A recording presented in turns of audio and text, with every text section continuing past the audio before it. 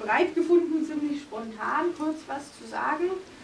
Also ich denke, ich habe durch den Holger auch den Edding so vor einem Jahr kennengelernt und dann mal seine Werke bei ihm zu Hause gesehen und war eigentlich gleich begeistert. Wir haben ja ganz viele Anklänge auch an die Kunstgeschichte, wenn man sich da auskennt mit irgendwelchen Altmeistern und Surrealisten, sei es Max Ernst, der da anklingt, oder Freude mag er auch sehr gern, hat er mir verraten.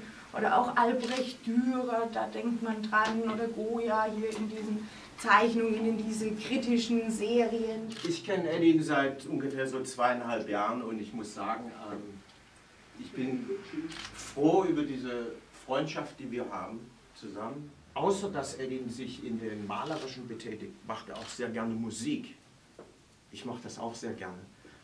Und äh, wir haben da eine ganz tolle Verbindung. Und Edin ist ein sehr vielschichtiger, eine sehr vielschichtige Person.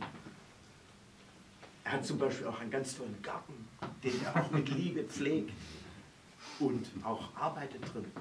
Und man sieht überall, wo Edin seine Hände reintut, da geschieht was, da kommt was raus. Das finde ich toll. Ich wollte auch nochmal vielen Dank sagen, dass ihr heute so zahlreich erschienen seid. Das hätte ich mir nie vorstellen können, dass so viele Leute kommen.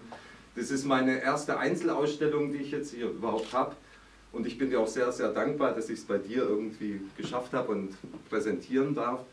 Einen schönen Abend wünsche ich euch noch und ich bin auf jeden Fall dann äh, ansprechbar, plus minus.